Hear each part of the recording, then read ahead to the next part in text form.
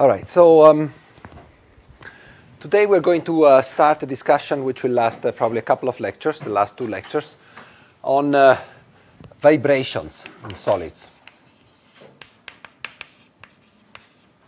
And we will give it a more precise name, phonons, uh, although what we mean, of course, uh, just uh, oscillations of the nuclei around their equilibrium position and trying to understand their dynamics.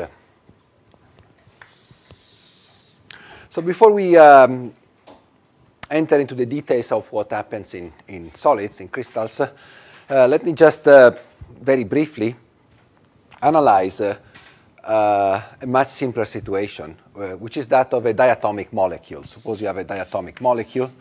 You can think of it as the H2 molecule, for example, right? So you have a nucleus, two nuclei, two electrons, uh, well, I'm drawing here balls and sticks, but uh, you know what I mean. I mean uh, the Coulomb potential here and here. I mean two electrons that are somewhere around the, the two nuclei forming a, a bonding state and therefore lowering their energy in order to uh, minimize, uh, well, uh, minimizing their energy quantum mechanically and forming a state which is what we saw at the beginning of our classes was a bonding state, a covalent bond. Now, uh, um, the discussion we made uh, um, at that time uh, was essentially based uh, on the assumption that the nuclei were fixed to their positions, whatever they were. So we fixed uh, somehow the distance d between the uh, nuclei. Hmm? Notice that I make a distinction between nuclei and electrons actually between nuclei and atoms. Uh, in our language, uh, there is no such a thing as, a, as an atom, as an entity. Once we bring together two atoms, the concept of an atom itself is totally lost because we are talking about two nuclei and two electrons. We, don't, we cannot tell any longer whether the electrons belong to one nucleus or another one. So the concept itself of an atom is totally uh, lost in our language. Okay? So here when we say that there are uh, two atoms at distance d, we don't mean atoms, we mean the nuclei, the point-like objects that uh, we call uh, we call nuclei. Okay, the, molecule itself uh, is an object which is composed of two nuclei and two electrons. So it's a it's a three-dimensional object, and what we mean by this d is the distance between the nuclei. Okay, so when I draw balls and sticks, what I actually mean is the two nuclei plus the cloud of electrons that surrounds them.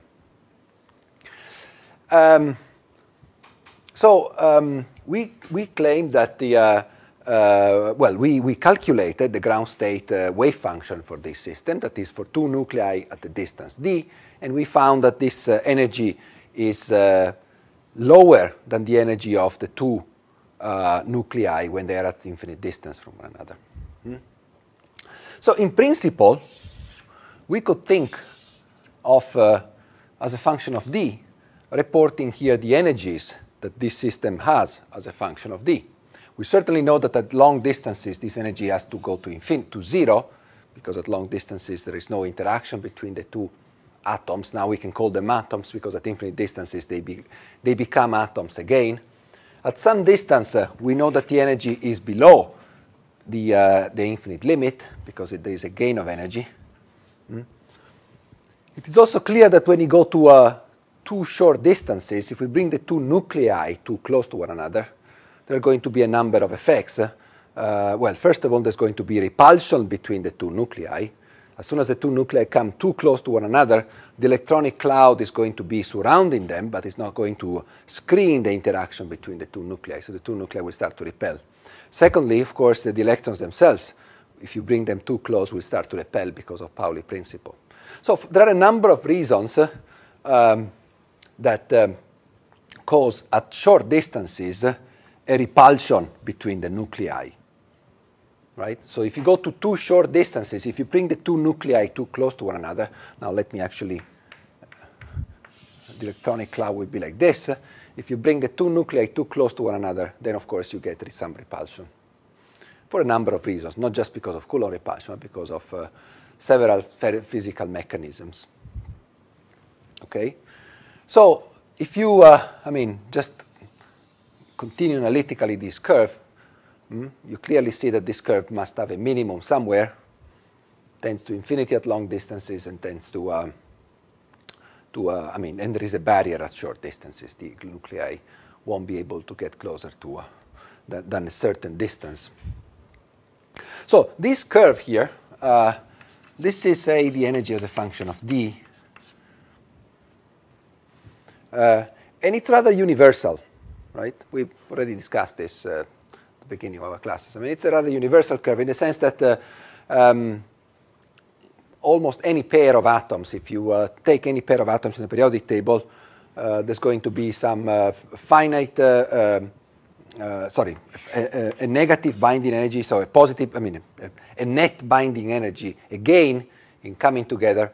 There will be an equilibrium distance, if you wish, that two atoms, two pairs of atoms like to, uh, to take when they get together. and then there will be a repulsion at short distances. So this kind of curve is rather universal. It may take different shapes. It may be uh, deeper. It may be uh, uh, the, the, equilibrium distance may be at longer distances and so on and so forth. But the shape, the qualitative shape of this curve for any pair of atoms in the periodic table is going to be um, similar to, to something like that. So it's a rather universal concept, I should say. Now, um, um, a molecule uh, uh, like this, if you take two atoms like this, uh, will certainly, I mean, this curve, what is telling us is that there is an equilibrium state for the system. And the equilibrium state of the system is when the, uh, the distance is this and the binding energy is this, It's maximized. Hmm? That's the minimum state. But of course, as you certainly know, the molecules are never in their precise, ideal minimum, right? The temperature, for example, as well as other perturbations, uh, cause the uh, molecule to uh, vibrate or to, well, let me say, before I, I introduce vibrations, let me say uh, the position of the nuclei may be different with respect to the equilibrium one. So it may be somewhere here, for example, shorter or longer, depending, I mean, on the, on the, on the conditions. And, and clearly, what we have here is, uh, is going to be a vibration around the minimum, Mm? And of course, I mean, if you can approximate this to a, to a parabolic potential, to a square potential, the vibration is going to be a harmonic uh, vibration. The question, of course, is uh, if you're going, you're going to be close to the minimum. So the question is, uh, at standard conditions, uh, say at room temperature, for example, take a molecule in, uh, say, the O2 molecule, N2 actually, Right? Air is abundant of N2. 70% of the air we breathe is made of N2. Right? It's N2, and then there is a, little bit of O2, and then there are other gases in the, in the air. Right? I guess you're all familiar with this, right? So air is made of diatomic molecules, which are very similar to this one, and which vibrate according to this curve. So the question is, for example, at room temperature here, in this class, I mean, you take an N2 molecule, what does it do? where, where does it oscillate close to the minimum? Uh, is it really at equilibrium? Is it oscillating back and forth this potential? I mean, what is it doing? Well, of course, it all depends on the scale of energy here of this plot, because we know, I mean, that at the given temperature T, hmm, the height of the oscillation, the maximum potential energy that you can gain uh, in, in oscillating at the given temperature is of the order of kBT. I hope you're familiar with this, right? For an harmonic oscillation at the, uh, um, uh, oscillator at the given temperature T, the average value of the potential energy is uh, one half of kBT. Are you familiar with this or not? Yes? No? Almost? Almost. Equipartition of energy. You've done it, right? So an harmonic oscillator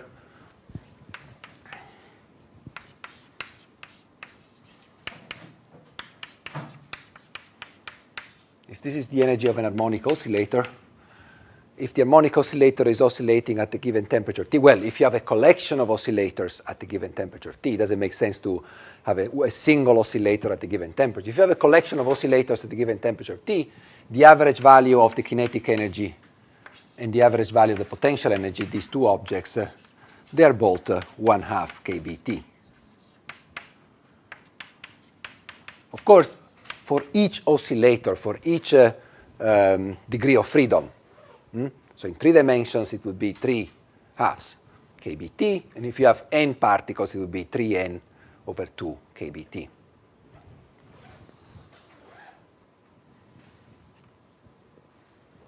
So same here. I'm saying kBt, but I should actually say 1 half kBt. Actually, 1 half kBt is the average value of the potential energy. If you look at the maximum value of the potential energy, the maximum is where, sorry, the maximum potential energy is when the kinetic energy is zero. So this is going to be kBt. Okay, so we are in, the, in that in that range of uh, in that range of energies anyway. And if you are at room temperature, let me forget about the two. I mean, this is just orders of magnitude. At room temperature, kBt is 25 uh, millielectron volts. Okay? If there is one thing that I want you to learn during this course, is this one. So the question clearly is, uh, we are close to the minimum here if 25 millielectron volts is much smaller than the depth of uh, this curve right? If the depth of this curve is much larger than this, then clearly here we are close to the minimum, and we can approximate it to, a, to an harmonic motion. But this energy here is the binding energy, is the energy take, it takes to form a molecule. Right? And we know that for standard covalent uh, systems like N2, O2, H2, this covalent uh, energy is of the order of electron volts, uh, 2, 1, 2, 3, 4 electron volts. So this is of the order of electron volts, at least for, for a covalent bond, for a strong bond. So clearly here we are much, at least two orders of, magnitude, well, of the order of two orders of magnitude below that binding energy. So at room temperature, we can say that at least standard systems like uh, covalent, uh, covalent objects, covalently bonded objects uh, at room temperature, we can safely say that these are uh, oscillating within the harmonic limit. At least if we talk about molecules. So the molecules that uh, we breathe, they are harmonic oscillators to say, with small corrections to the harmonicities. But this is, of course, not, uh, there are exceptions to this. Hmm? And exceptions can happen for, uh, for two, two possible reasons. Either the temperature is not room temperature, temperature goes up, 1000 Kelvin, 2000, 10,000 Kelvin, think of uh, molecules in the sun, for example, or in, uh, in planets or in uh, hot bodies. Mm? Temperature in the sun, for example, temperature at the surface of the sun. Mm? How much? Sorry? 10?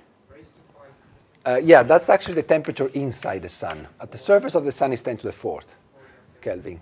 Okay?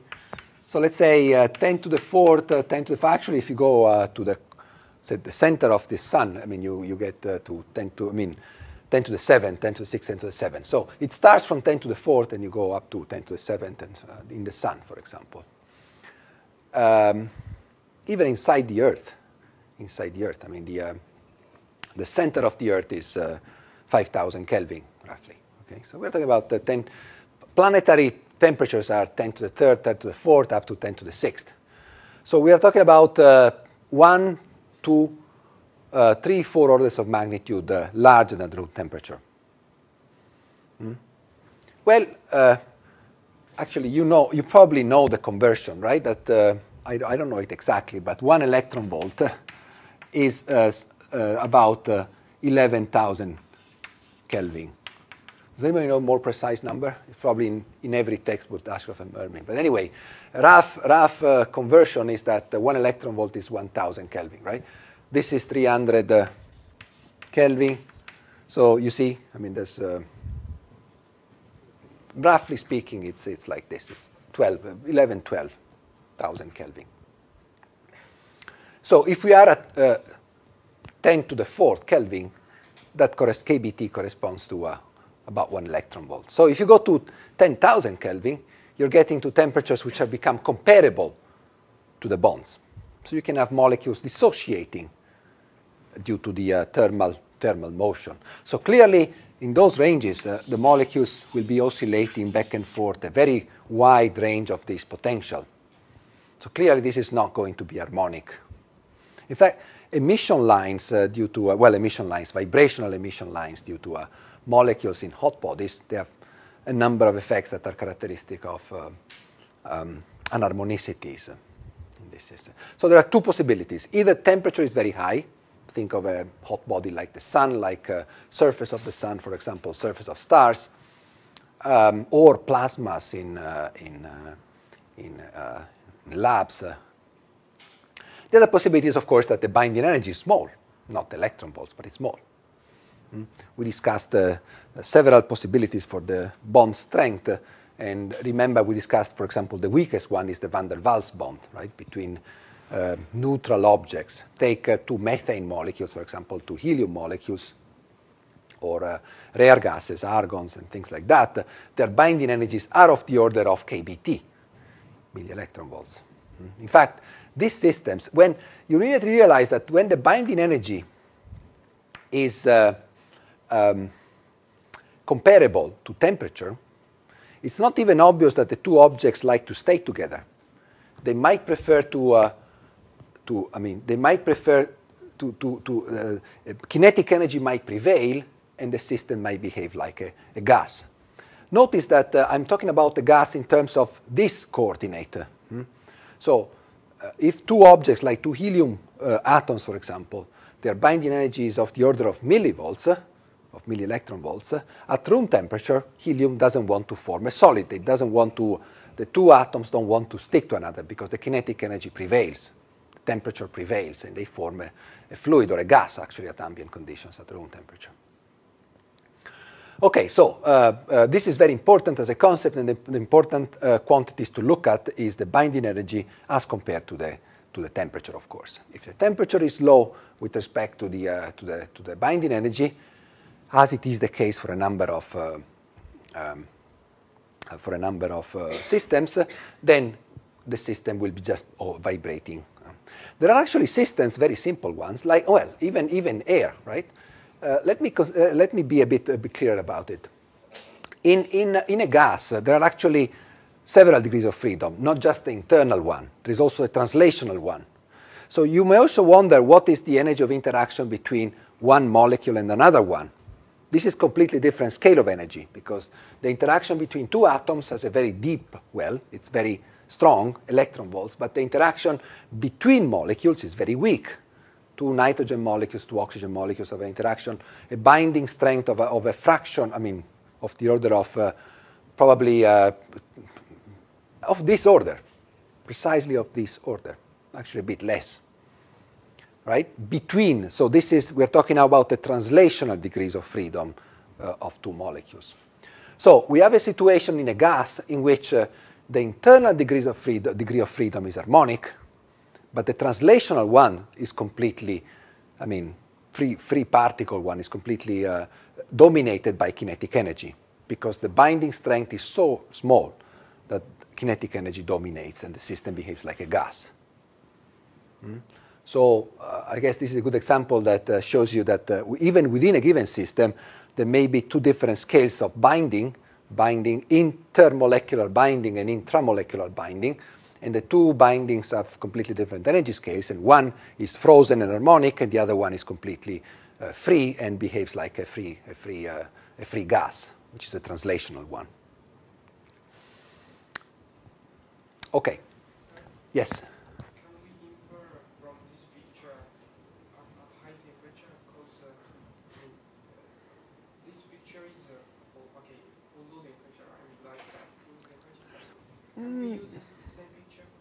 Sure. I mean, uh, the question is you can use the same picture at high temperature. Uh, this energies versus distance is independent of temperature. Then on top of this, you have to put a particle that behaves the, at a given temperature, right? So if the temperature is low, the particle will oscillate close to the minimum. If the temperature is, is high, it will oscillate, uh, I mean, it will have broader oscillations. If the temperature is very high, then there is even no binding. The two particles will behave like a gas, and the, the, their attraction is, becomes irrelevant, like in a standard gas. The interaction between molecules exists. I mean, the two, two nitrogen molecules, if you look at their interaction, they do have a binding, a small binding energy. but the temperature is so large that they, don't, they, they never reach that state, that, bind, that bound state, because they, the kinetic energy prevails. They will see it only occasionally, but then they will approach this state with such a velocity, right? They will probably be at this value of the temperature will be very large, right, on this scale, and therefore will probably be reflected. They will uh, see occasionally this uh, little well when, when they approach another in a collision with another molecule, but this is really will really last for, I mean, femtoseconds. Most of their time will be uh, spent uh, in regions where the distance is very large, like in a gas.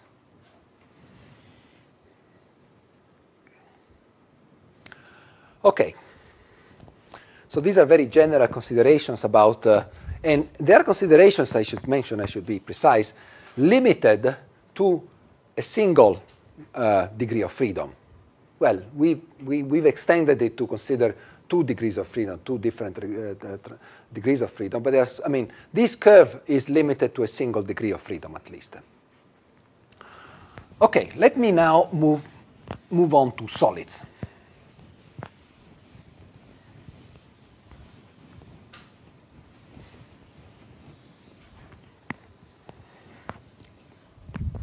Let me first approach the problem from a phenomenological perspective, and then we do, we'll do some calculations.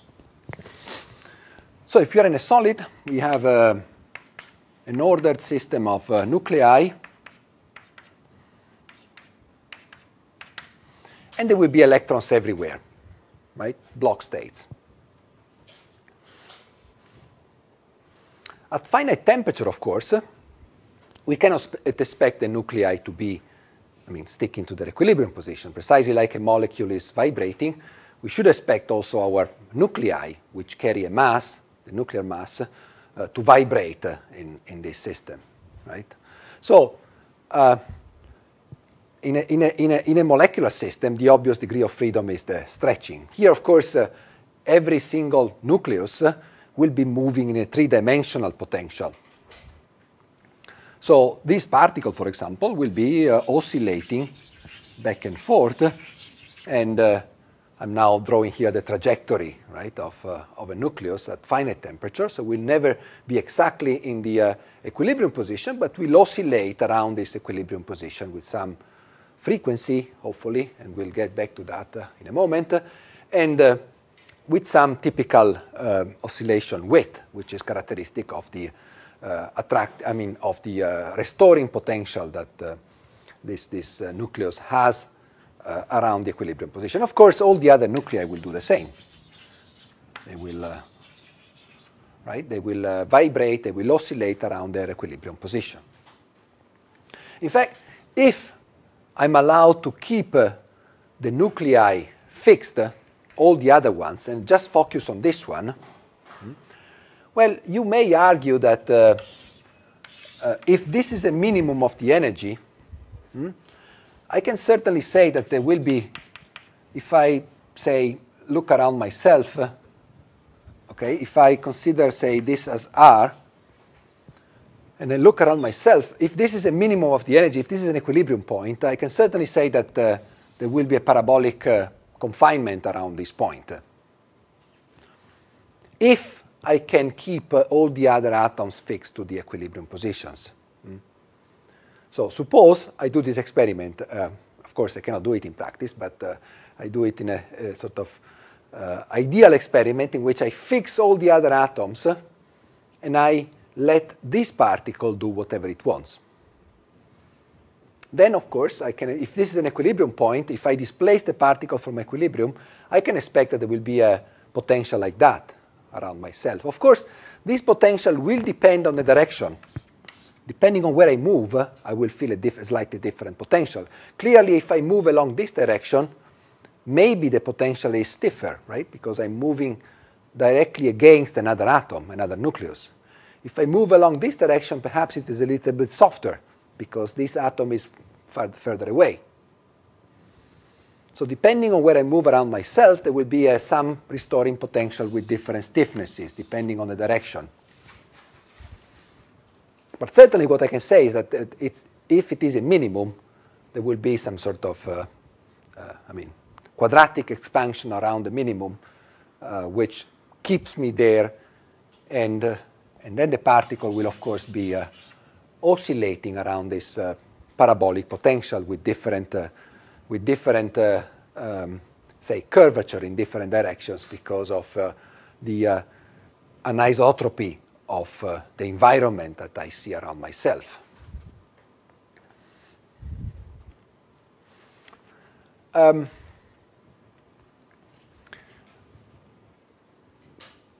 at some point, uh, this potential will stop being parabolic mm, and will, uh, will start uh, behaving in a, in a non-parabolic way. After all, the interaction, the reason why this is kept here is because it is interacting with the other atoms, and with each other atom, this atom is experiencing experiencing an attractive force, or I mean, an, a, a, potential of attraction that is uh, very similar to the one that we, uh, we, uh, we had at the blackboard uh, previously. Mm? So the potential will be, of course, periodic at the beginning, but then it can take any, any arbitrary shape. In fact, we know that if we increase temperature, now let me put temperature, for example, here, if temperature is here, the particle will be oscillating uh, well, almost harmonically. If the temperature is lower, it will be more harmonic. At some point, hmm, we will reach a point in which uh, this harmonic motion is no longer um, uh, uh, a good solution, and the particle will start to uh, move around throughout the crystal. It's a bit like the situation we've examined before. We have a confinement, but if the temperature is large enough at some point, there's no reason why the two particles should, should be together. At some point, it behaves like a, like a gas or like a fluid. The particle, the particle will start, the, the kinetic energy will start dominating if we go sufficiently high in temperature, and the system will become essentially free to diffuse in space.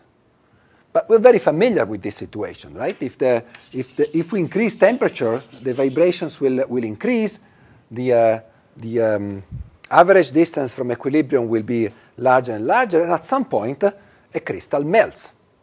Right? Any crystal at some temperature will melt, and melting means that at some point the particle will start to diffuse freely in our, in our crystal. Okay? In fact, there is even a rule of thumb, uh, which is verified to an impressive uh, uh, precision, even though it's not uh, a theoretical rule. And that rule states that uh, as soon as the uh, averaged amplitude of the vibration around the nucleus exceeds something between 15 to 20 percent of the distances between atoms, mm, then the particle will become to diffuse freely. The, the system will melt. There's no theoretical support for this but it is actually verified with an impressive uh, uh, precision throughout uh, the, the materials that, that we know in nature.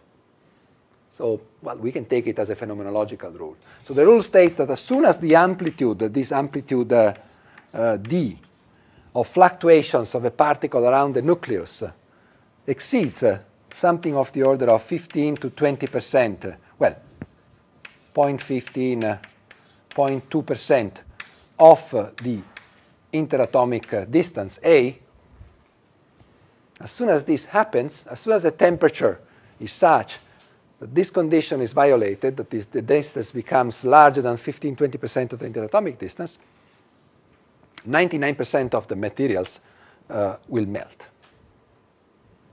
Whatever that, uh, it's, it's, a very, I mean, I think it's a, nice to mention it because it gives you a, an idea of uh, when you should expect uh, that uh, thermal vibrations uh, essentially kill the crystal and, and lead the system into a, into, a, into a fluid, into a melt.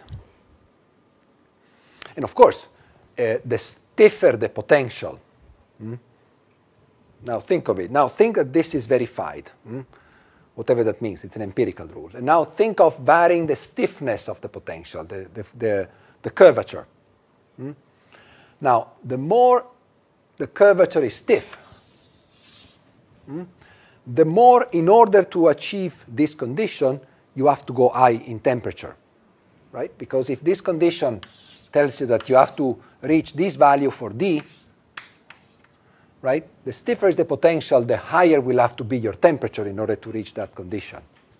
So this, if this rule is valid, we can conclude that the stiffer is the potential, the higher will be the melting point. The higher will be the temperature at which uh, a system will melt.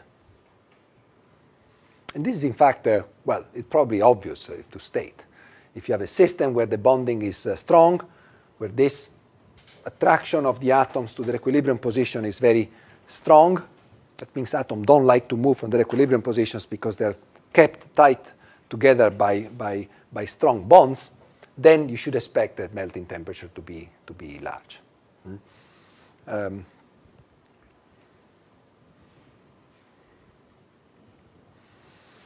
All right, so this is just phenomenology for the time being. Let me try to go a little bit more uh, uh, precise with, with mathematics. Uh, what I need to consider, and I didn't consider here, is the fact that uh, when this nucleus is moving, all the other nuclei are also moving. So my initial assumption that there was a nice potential, uh, a quadratic potential like this, was based on the assumption that I was keeping all the other nuclei fixed. But the other nuclei are not fixed. They actually move themselves. So when this atom, when this nucleus is moving, this nucleus is also moving. Mm?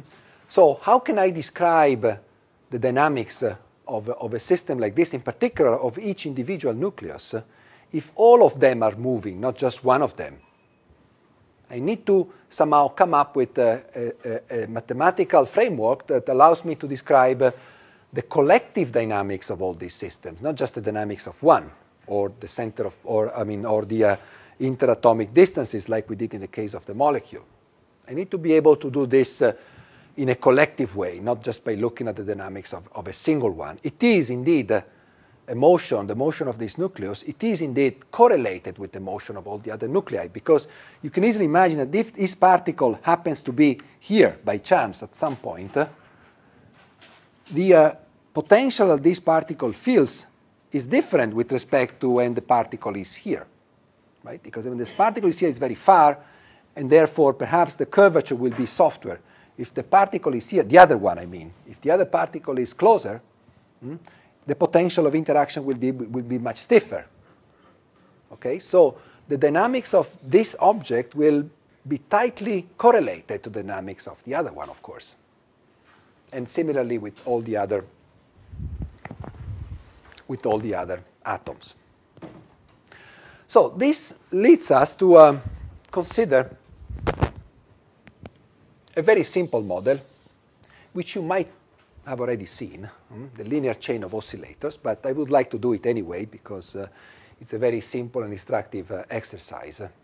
So the model we're going to use to describe the dynamics of this uh, complex correlated system is uh, we're going to assume now that we are in one dimensions, that particles that have a number of particles with the same mass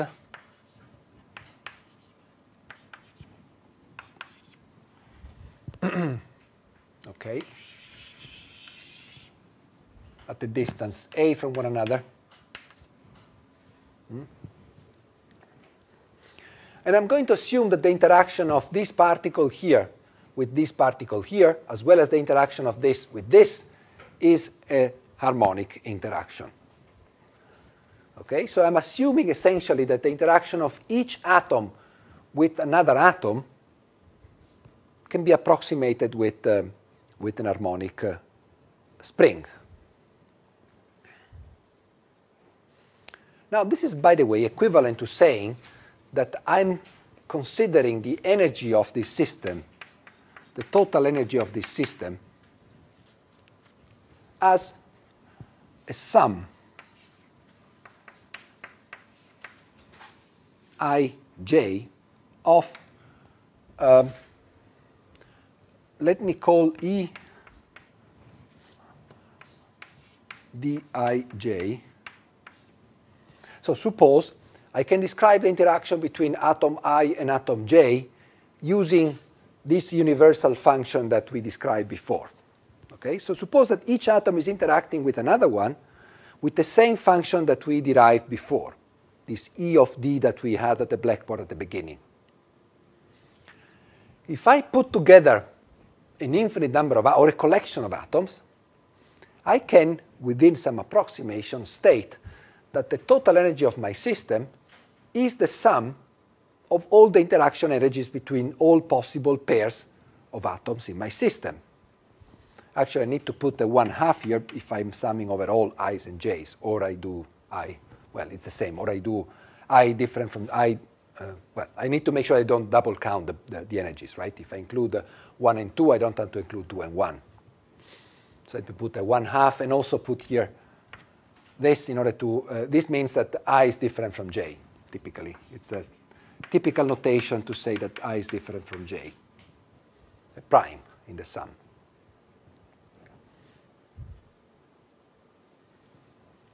So I'm, I'm trying to justify my, my model here. I'm trying to justify my model by stating that if I take a collection of atoms, I can expect that my the total energy of my system is going to be given by the sum of the pair energies of interaction between any possible pair of atoms in my system. Now, I would like you also to, however, uh, realize that this is in itself an approximation if I have two particles that I know interact exactly with this function, hmm, I have two particles, and I know I calculated to infinite precision, or I measured with infinite precision, that the interaction between those two particles is given by this function. Let me now introduce a third particle here. Hmm. If this was not there, I could calculate the interaction between this and this to infinite precision, if this was not there, I could calculate the interaction between this and this with infinite precision. Whether the total energy of the combined system is the sum of the three is not obvious because the interaction between this and this might be affected by the presence of a third atom, right? If you think of it in terms of quantum mechanics, it's quite clear.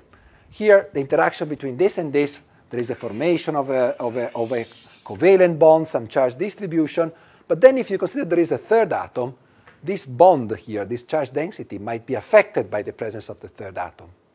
And similarly for all the other pairs, of course. Hmm?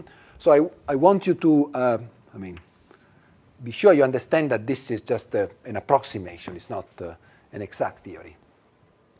However, let me assume that I can approximate this interaction by a sum of pair interactions, interaction between pairs which is again not necessarily the truth. It is a good starting point, at least, to describe the interaction between a collection of, of particles. Here I have interaction of this particle with this one, this with this, this with this, all possible pairs. But clearly, if I sit here, for example, let me put a label here, I and this is i plus 1. I'm using the same notation I used for the, uh, for the hydrogen atom uh, chair, uh, chain. The interaction between this and this is, the, is given by this energy at the distance a. Hmm? The interaction between this and this is the same energy at distance 2a's. So clearly, I can at some point uh, truncate uh, my sum because the potential, this energy here is going to go to zero at some distances. Mm? So when I consider interaction between this particle and all the other possible particles in my system, clearly at some point I can forget about, uh, uh, I mean, including that, that, those interactions in my, in my sum. I can stop. Well, what we're doing here is actually to stop after the first, first, I mean, considering only the first nearest neighbor. So let me assume now that in addition to this approximation, I'm going to limit uh, the sum only to nearest neighbors. So this, this interacts only with this and this. i minus 1 interacts only with i and with i minus 2. It's an approximation. It's the spirit of the approximation we introduced for the tight binding model, you may remember. Physical interactions have a finite length, I mean, range, range of uh, Uh, uh, uh, a finite extension. So let's truncate, if we want to build the simplest possible model, let's truncate our interactions to first nearest neighbor. So I can actually further approximate this to interaction between first uh, nearest neighbors, if I wish. if I accept all these approximations, what I'm left with is with, oh, sorry. If in addition to this, I consider that my temperature is low enough that I'm close to the bottom of this uh, E versus D curve, that is in the harmonic part of this curve, then clearly you see that uh, this is exactly the model that I described at the beginning, hmm? where each particle is interacting with a spring with an harmonic potential with uh, each one of its nearest neighbors. Hmm? Okay, so I just wanted to somehow derive, of course, uh, uh, very phenomenologically, uh, why we can, at the end of the day, consider a model which is that simple. I now summarize all the various important approximations that we're making when we, uh, when we, when we uh, derive this model. Okay, so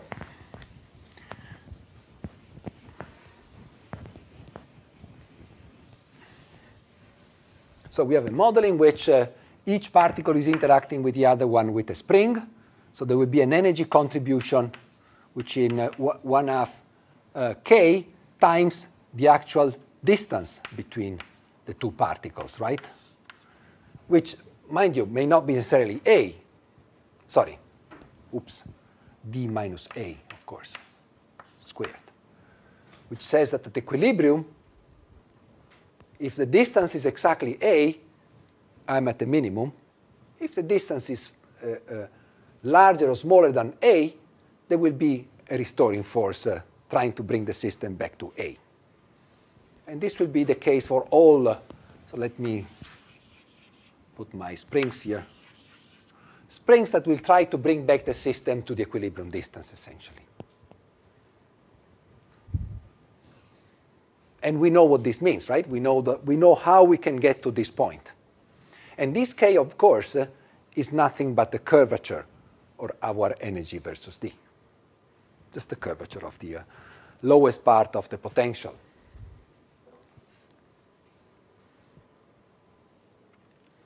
So let me sit now on atom i and try to uh, move atom i away by an amount u from equilibrium. Okay, so let me call u of i the displacement of atom i from equilibrium. All right, u of i can be positive or negative, depending on whether I move the particle to the left, to the right, or to the left. So if I apply classical mechanics, the force that particle i will feel, which will of course be acting on the coordinate u, the coordinate of the particle, will be given by two terms. There will be a force due to atom i plus 1, which will try to push the atom back, and there will be a force due to atom i minus 1, which will try to push the um, particle again back to, to equilibrium, right? So there will be a term, let me first put the term to the right. There will be a term which is proportional to k, ui minus ui plus 1. Notice this. In fact, what counts is not just the distance between, it's not just ui versus the ideal position, but it depends where particle i plus 1 is. If particle i plus 1 is moving in the opposite direction, the actual length of the spring is going to be reduced. Right? So what really counts is the distance between i and i plus 1, which is the difference between ui and ui plus 1. Right? So the force felt by i due to atom i plus 1 is going to be given by this term. It's essentially the length, how much I reduce the length of the spring. Is it okay? You look. Then there's going to be another force due to atom i minus 1.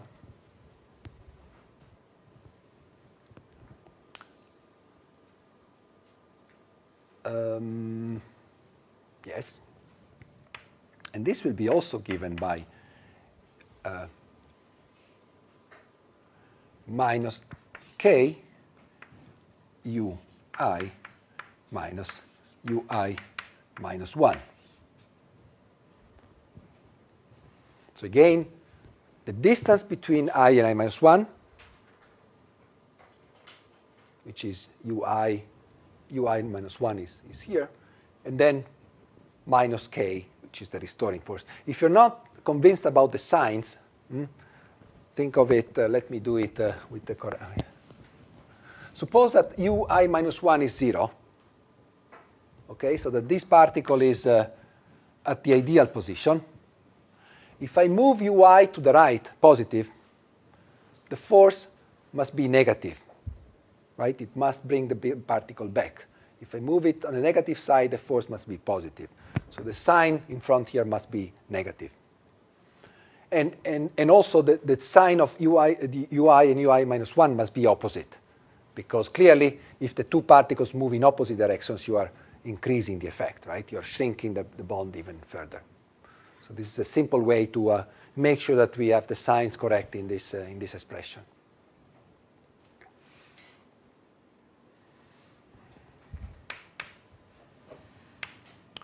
Okay, so here I have uh, k ui plus 1 minus 2k ui plus k ui plus 1.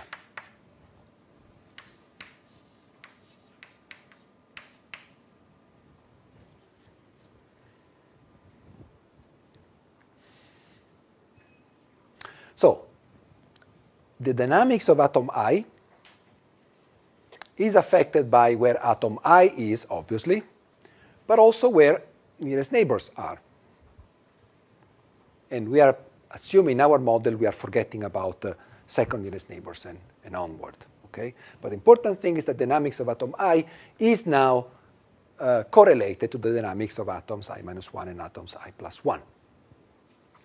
What this means is that this is a system of uh, infinite, of an infinite number of oscillators. Hmm? This is a linear system of oscillators, um, a moment, which are all coupled to one another because i is coupled to i plus 1.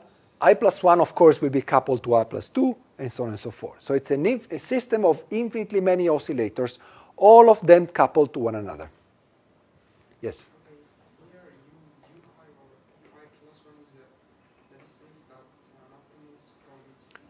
Yes, so u is the displacement of the particle from equilibrium. Yes. So we have to say so we have to say t or a, a minus. So in this particular, okay, so yeah, so the potential is uh, one half uh, d minus a squared. Okay, in one dimension, this object is ui. Well, if I'm considering this bond, for example, is ui minus ui minus one. Right, because the change of distance between these two particles is going to be given by, okay, let me, uh,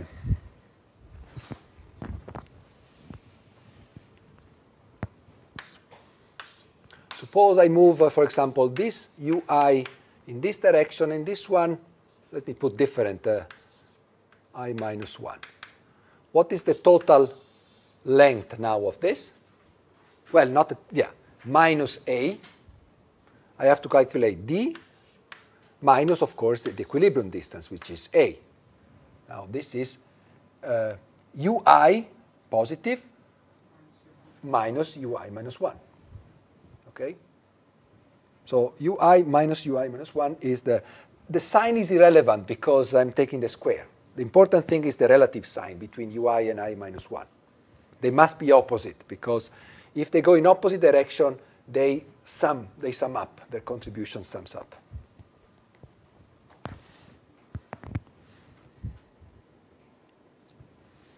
Okay. So from a mathematical point of view, uh, we are, yes? Uh, no, it's plus.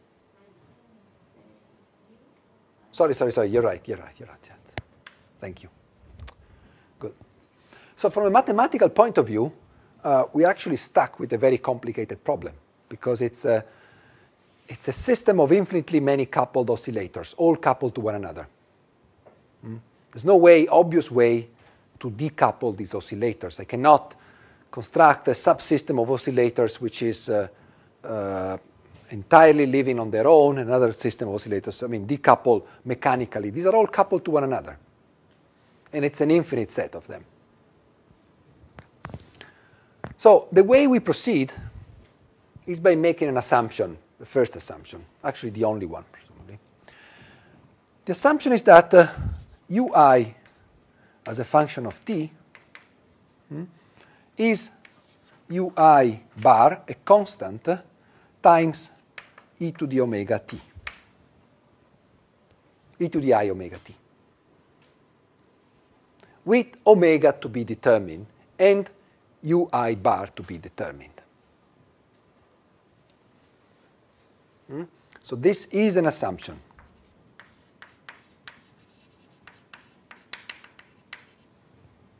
And we're not going to justify it. Just take it as it is, an assumption. We're going to assume that uh, the time dependence of this motion is harmonic with a, uh, an intensity and uh, a frequency omega to be determined.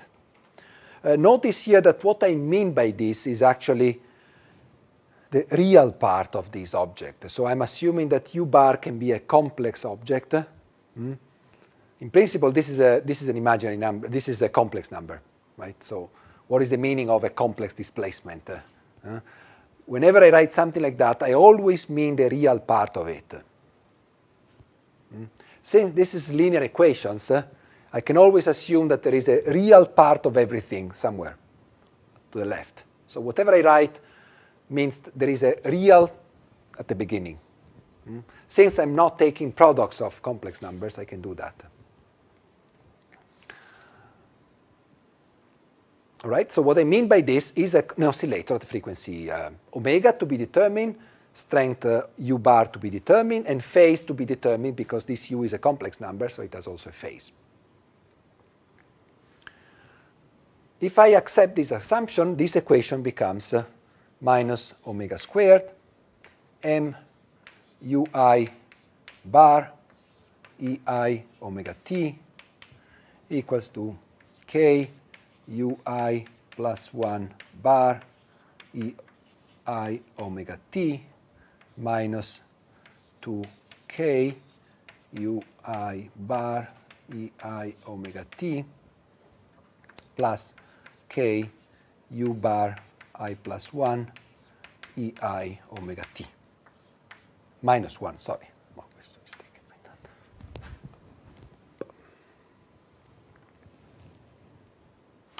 Sorry, I should have mentioned that this assumption is a, a rather strong one because I'm assuming that all particles move with the same frequency, with frequency to be determined. Mm? This omega does not depend on i. The only dependence on i here is in the prefactor. So it's a rather strong assumption if you think about it. I'm assuming that all particles move with the same frequency. Will I be able to find a solution? I don't know. We'll see. If we find it, that was a good assumption. Again, nobody tells me that there may be other solutions which differ with respect to this functional form that solve the problem. So that's the meaning of uh, when I say an assumption. An assumption, if you verify that it is a solution, it is, of course, a good solution. The question, of course, is whether there are other solutions that don't take this form, this functional form. And this is something we are not going to prove. But you can trust me, there are no other solutions other than functions of this form in the problem. We're not going to prove it.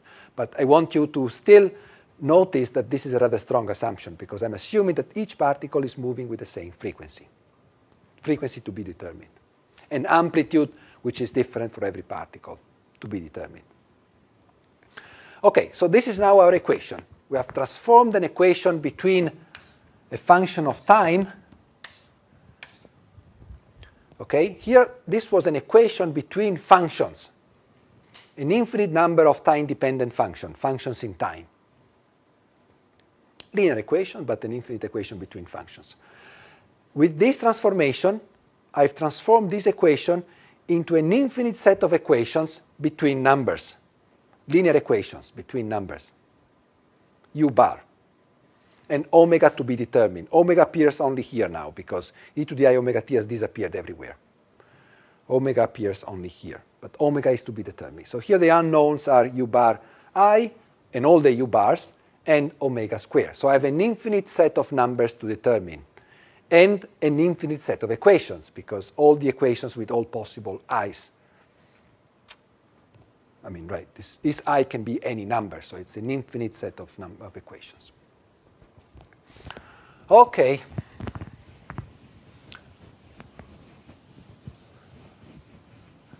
Allow me to write it in a different form, this equation here. Allow me to write it in this uh, form here. Well, first of all, allow me to change the signs everywhere. So I'm not going to do it, actually I'm going to do it with the uh, color chokes. I'm going to change the sign here, plus. I put a minus here, plus here, and a minus here. Okay, I've changed the signs everywhere, just for convenience. And then allow me to write it in this form. I will first write it, and then we will recognize that what we've done is correct.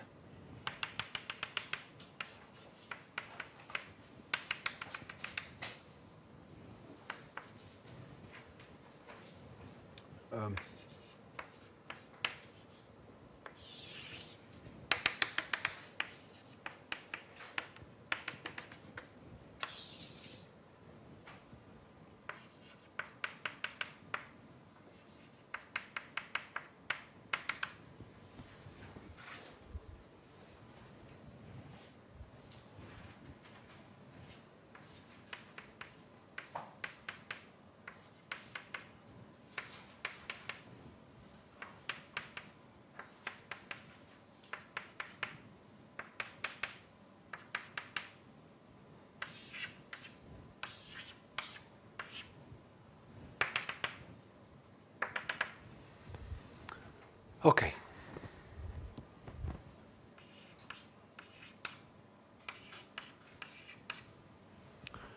So I've now written a big matrix equation.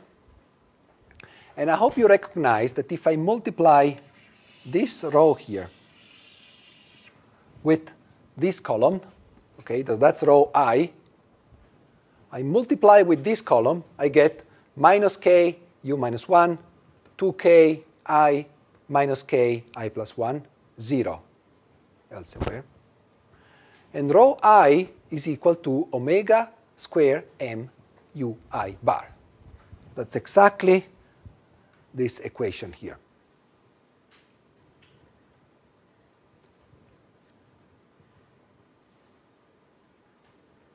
Hmm?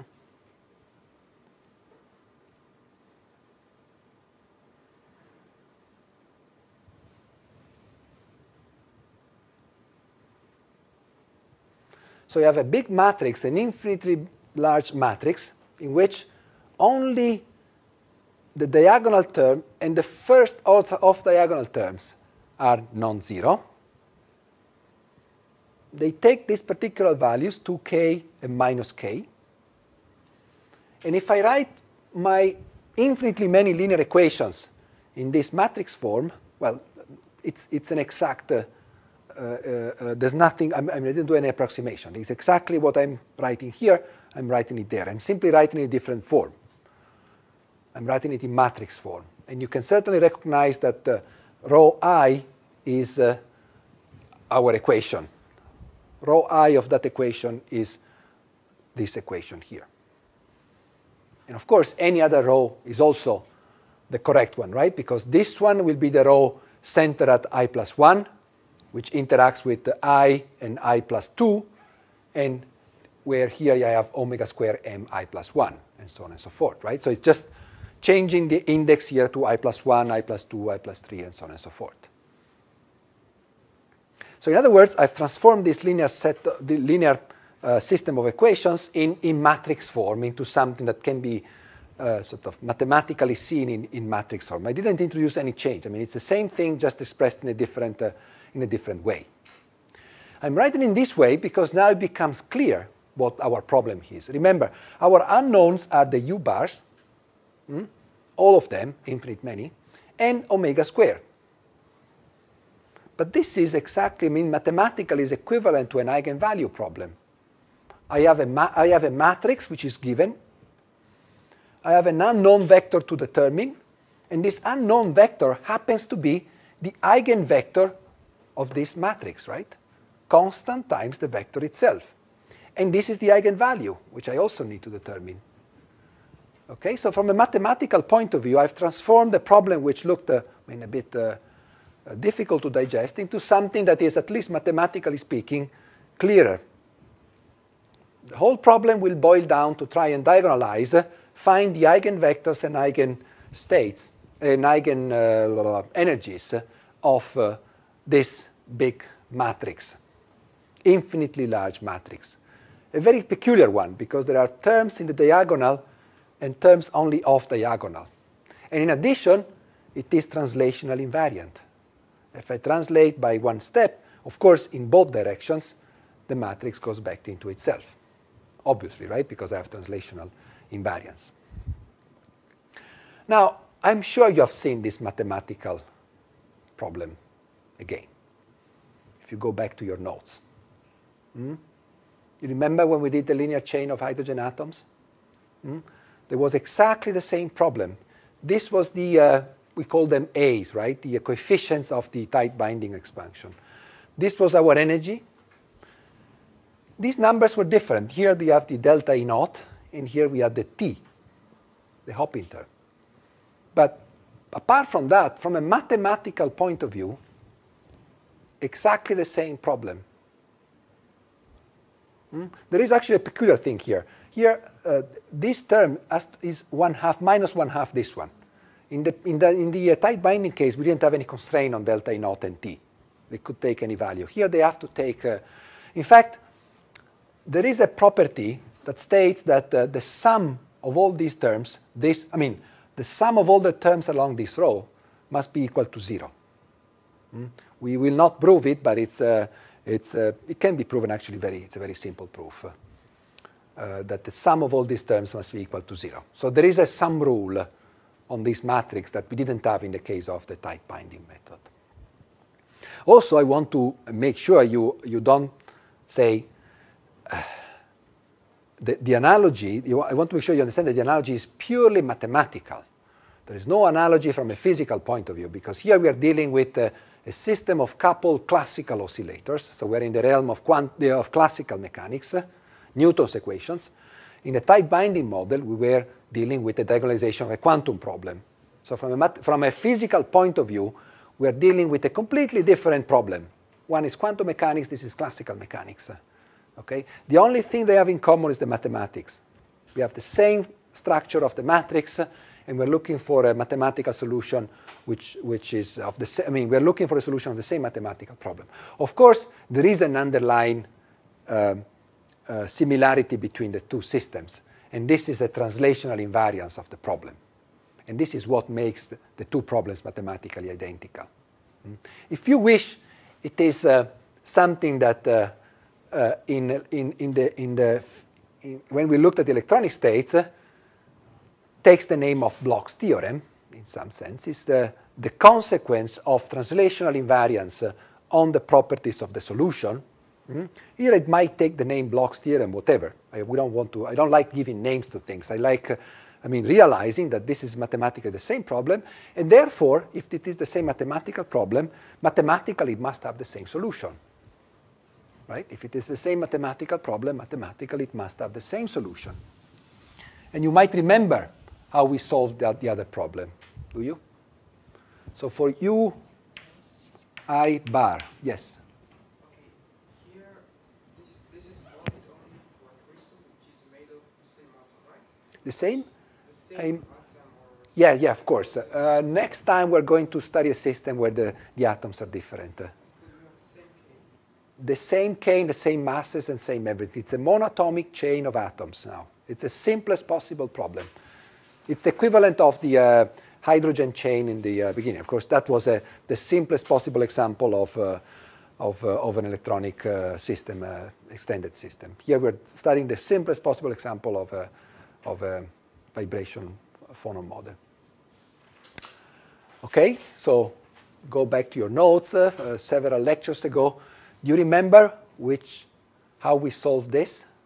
We have to find an expression as a function of i. Right? We have to tell, we have to specify what is u bar for different i's. You remember it? How we solved it? Hmm? Yes, we gave an answer, right? We tried the solution of a given type. You remember it? Okay, so we have u double bar, a constant, e to the i q i. Right? We said, yes, let's try this and see if it works. Well, it worked in the other case, so it's going to work also now, of course. Uh, so let's try it. So let's uh, plug this into this or into a row i of our problem. Right? So we have omega squared m u bar double bar e to the i q i equals to minus k u double bar e to the i q i plus 1 plus 2k u double bar u to the i q i minus k u double bar e to the i q i minus 1. Right?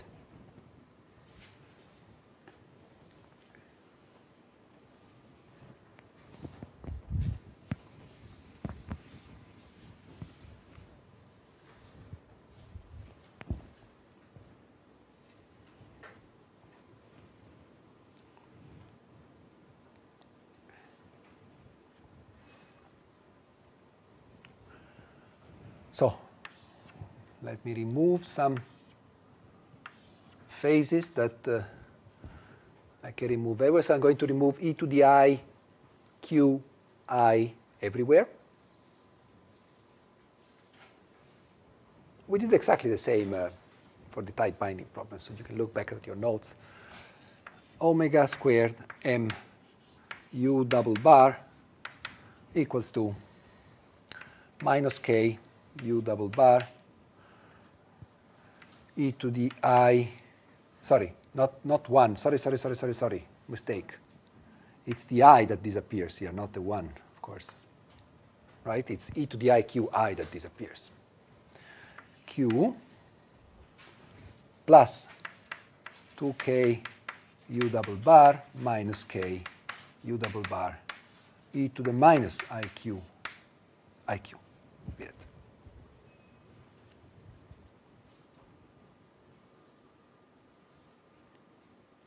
Clearly, I'm looking for solutions in which u double bar is not zero, right? If it's zero, that's not that, I mean, it is a solution, right? If u is u double bar is zero, u all the ui's will be zero, all the functions ui of t will be zero, nothing will move. This is a solution, right? But it's a trivial solution. So I'm now going to assume that u double bar is not zero. If it's not zero, I can remove it. And what I get is actually, let me group uh, the things here. So I get omega squared equals to k over m 2 minus e to the iq plus e to the i minus iq is twice the cosine of q.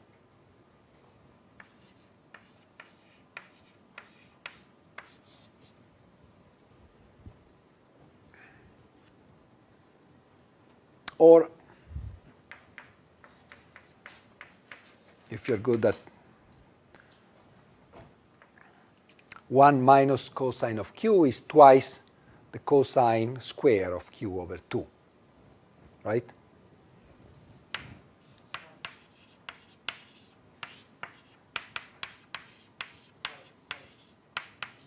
Hmm? Sine square, sorry, sorry, sorry, sorry, sorry, sine square, yes. Thank you. Sine square. So 4 sine square of q over 2.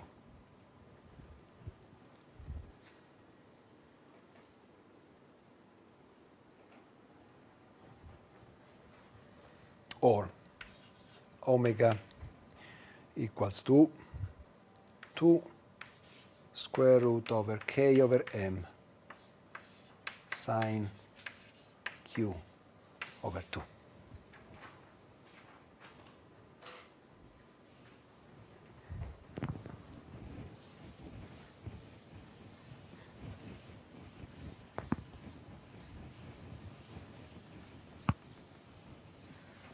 So I'm going to repeat the same story once again, right? We've done it already several times. We've made an ansatz. We, uh, we assume that the solution could be written in this way for a generic Q to be determined. We find that the resolution is possible as long as omega is equal to this function of Q. So given Q, as long as omega is given by this function of q, this solves the problem, solves our problem. That's exactly what we, uh, the same kind of considerations we made uh, uh, in the case of the tight binding problem. Let me draw this function now. Okay, so it's a sine. It goes back to zero when q over 2 is uh, pi. So here we, have our, we are at 2 pi, right? because when q over 2 is pi, it becomes 0 again, and then it repeats periodically, right? 4 pi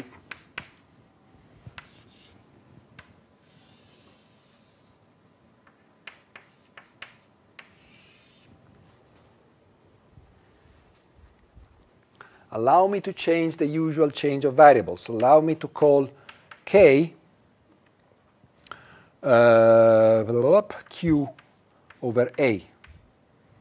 We did exactly the same in the tight binding problem. We wanted to do some physical length. All right, so here I'm now using Q, sorry, K, and I simply divide this by A. I'm just changing the variable, right? Calling K, I call it Q. Of course, then I have to remember that omega is, uh, let me, 4K over M uh, square root, sorry, sine of k a over 2. Um, I'm just changing the variable, introducing this variable k. All right? So, let me ask again the same question to myself. I have infinitely many solutions for uh, all possible values of k. They all solve my problem as long as I choose omega to be this function. So if I'm here, I choose this k, as long as I choose this omega, I'm, I'm done. I solve the problem, right? Because as long as omega is equal to this, I solved my problem. So this k is fine, works, as long as omega is this. This k works as long as omega is this. This k works as long as omega is this. Hmm? But again, we find a periodic function. So the obvious question is, is this solution the same as this one or not? Hmm? This solution here, is it the same or not? Well, we have to check, right? This is the solution. If q goes into q plus 2 pi, hmm, this function is exactly the same. 2 pi times n, exactly the same. So not only the frequency is the same, but the solution itself is the same. So if I translate my problem by 2 pi or 2 pi over a in my k variable, I'm not going to add any additional solutions. I'm going to find again and again and again and again the same solutions. Every time I move by 2 pi over a, I'm going to find again the same solutions, same frequency, same solution, same everything. All right? Do I need to consider all case? No, I can limit myself to a segment of length uh, 2 pi over a. Which segment do I choose? The Brillouin zone. So I limit myself to this region, and I forget about the rest. Okay? Yes, be there in a second. Highlight now the solutions.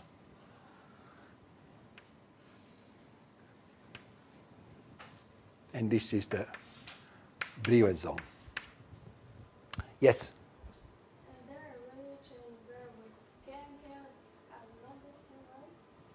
K and what?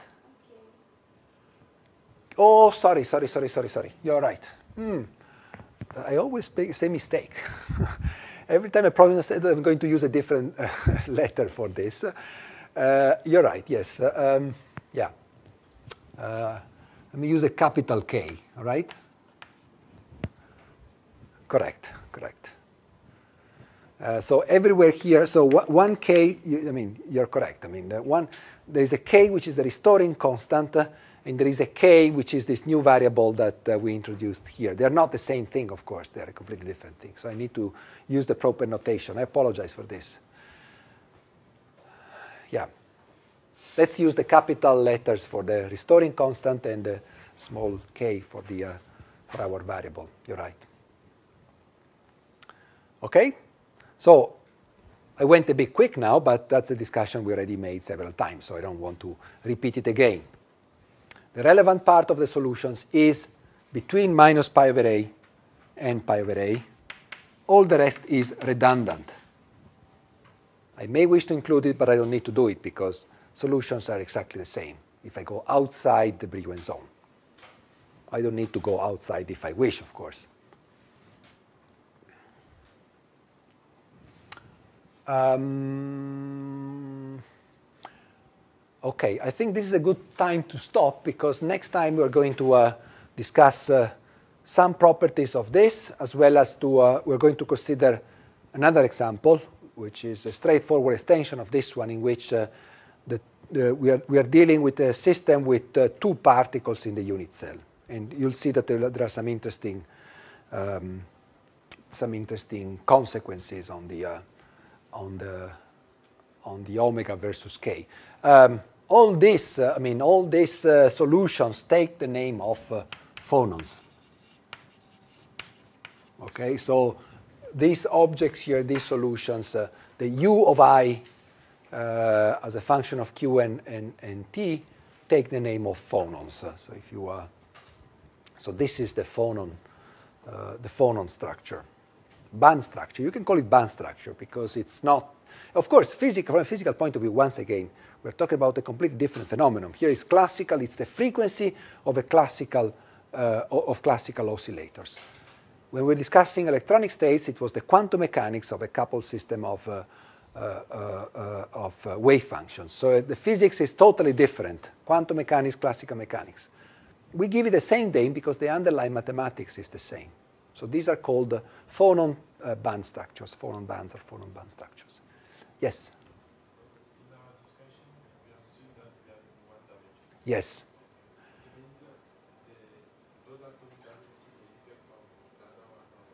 Yes, correct. So the question is, uh, so far we've, uh, our discussion was limited to one dimension.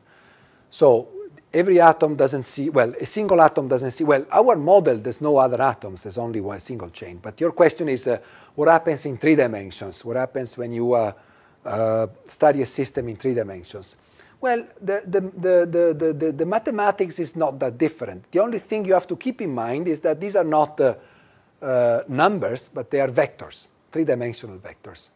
So when you study, when you start your, uh, uh, you remember the first equation we wrote at the blackboard was uh, Newton's equations. M, acceleration of a given particle, and there you have the three-dimensional vector.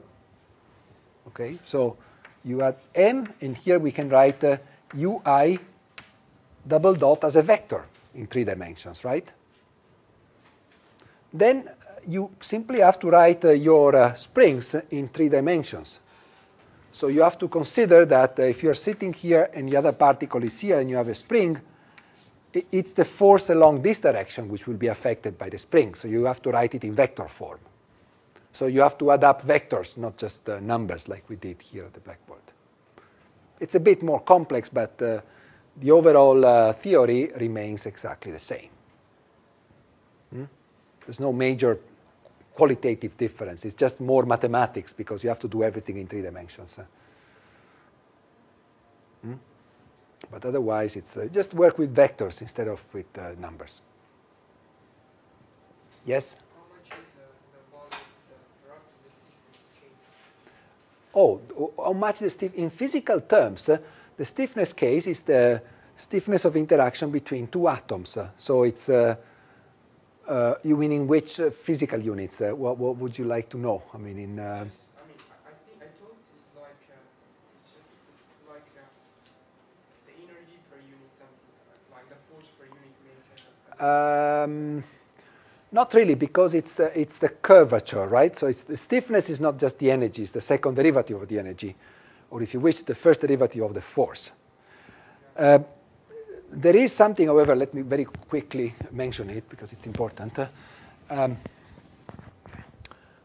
if you look at your universal uh, curve of interaction, this one, right, between two particles, but more or less it's the same as for n particles, because even for n particles, it's the sum of interactions between n, between pair particles to first approximation.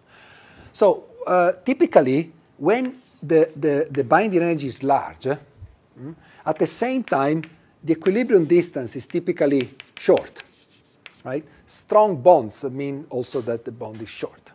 So a strong bond inevitably means that the curvature is very large. Mm. Weak bonds, on the contrary, are typically very shallow and very, and very uh, the equilibrium length is very long. So the curvature is very uh, small. Mm. Um, so strong bonds, I mean, so you can correlate uh, the binding energy with the stiffness. They go together. If, if, if the bond is stronger, the, the, the, the, the, the uh, frequency will be, K will be larger, and therefore the frequency will be uh, higher. Okay? One thing, from the from the expression, I think omega is related to the mass. So I think Yeah. if, if the mass is to, to be, I don't know, I mean, in Sure. a sense, then we've lost some corrections, corrections. So the question is if n is large, we will have some corrections. Which kind of corrections? There was no point in our theory where we assumed that the mass was small, right? Yeah, but yeah. Because we made some approximations. Which approximations are you referring to among the ones that we've made? Now, there was no approximation among the ones we've made in which the size of m was relevant. There was probably only one, and this was when uh, I'm writing Newton's equations. Newton's equations is something that uh, holds for classical particles. So m must be large enough to be treated like a classical particle. That's probably the only approximation I can think of possibly affecting that statement. If the particle is too light, the question of whether Newton's equations are not applicable becomes uh, an important one. Now, in real, in practical terms, uh, there are only a few, actually probably two systems for which uh, uh, classical Newton's dynamics is uh, hmm, not so obvious that it works. And this is the lightest atoms, hydrogen and helium. Okay, hydrogen, uh, um, unfortunately or fortunately, forms uh, diatomic molecules. uh, okay, so actually the object that you are dealing with is um, either a very stiff one or it's a heavier one because it's a combination of two, two molecules, two atoms. Uh, so it, the, the mass is twice uh, the, the one that the hydrogen atom has. But anyway, for hydrogen and for helium, uh, uh, you might question the validity of the Newton of the class of classical mechanics. But these are really the only two systems in which uh, you, you may you may consider questioning this approximation. All the actually the heavier the better, because the more the particle behaves like a classical particle. That's the only place where mass entered in our discussion. Any other question? Yes. Hi, yes. In three dimension, we have different kinds of crystals with different number of unit tables. So how it can adapt for something like this? Uh, we are going to discuss this next time, but uh, essentially, um, well, okay, two minutes. Um, here we have, uh, um, now it, uh, if you wait, I mean, until next time, it becomes clearer. uh, what happens in the case of more than one dimension. We're going to see the case of two atoms per unit cell, and, and then it becomes clear that if you have more than one degree of freedom per unit cell, whether it's because you have two atoms or because each atom has three degrees of freedom, the, the solutions will change. But allow me to wait until next time before I answer your question. It becomes much clearer. Yes, okay. If uh, the amplitude is zero and is zero, Yes? then it means it stays okay, it stays zero. Yeah. But I think it can also mean the whole thing is moving together. I don't know. Right, okay. Um, uh, yes, I mean, of course, we are not considering that kind of, uh, this is not a vibration. The fact that the entire crystal is moving translationally, well, okay, it's a trivial kind of solution anyway, right? So it's, um, yeah, fine. Yeah, yeah. Um, I know what you're heading to, but I don't want to enter the details because it otherwise would take me at least 10 minutes to spend. What you're saying actually is what we use to prove the sum rule that I mentioned before. Sum rule according to which the sum of all the elements in a row must sum up to zero comes out precisely from, from your considerations that if you translate your system rigidly, there is no energy, uh, there is no restoring force for that motion. Mm? If you actually do the calculation, find out that this implies that the sum rule must be satisfied. You may actually see it here. Yes, sorry, it's, it's trivial. Because if u is, um, if u is, uh, no, wait a second. Uh, if,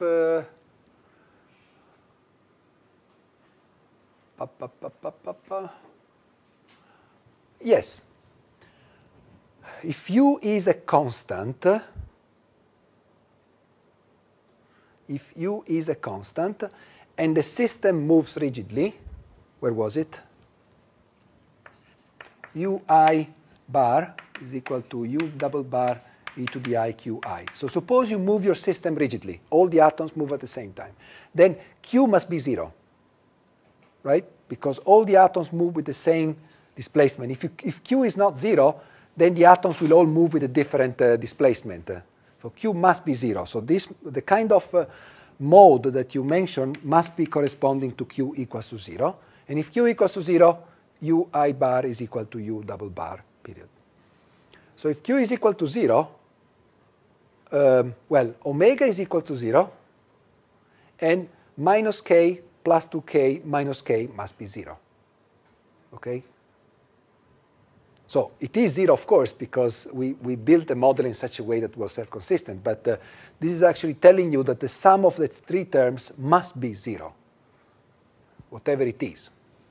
It is, of course, 0 because we constructed the model correctly. But there is a sum rule on the sum of all these three terms, which comes from the fact that the solution with q equals to 0. We'll come back to that next time. I think we'll, we'll spend five minutes on this next time. More questions? Yes. Sorry? Yes. With different uh, what? What do you mean by different mode of oscillation?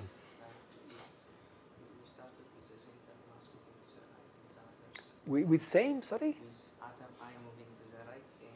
Moving to the left. um, okay. Uh, well, we found some solutions uh, of the problem. We will uh, discuss them. I mean, tomorrow. Well, no, no, on, next lecture. You're saying that if the starting point. Uh, uh,